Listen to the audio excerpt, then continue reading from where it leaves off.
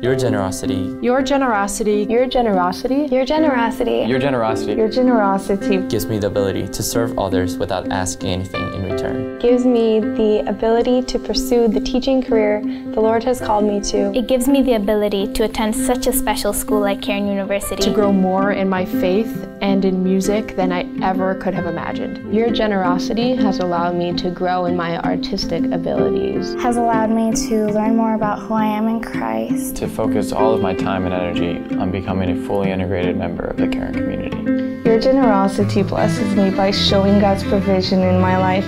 By allowing me to experience the lives of those who live in the opposite side of the world.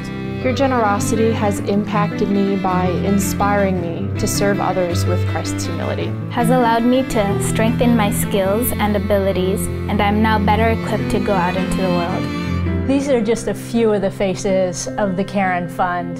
At Cairn University, 90% of our students that request aid receive aid because we believe that if they're called to Cairn University for a biblical education, it is our responsibility to make it affordable.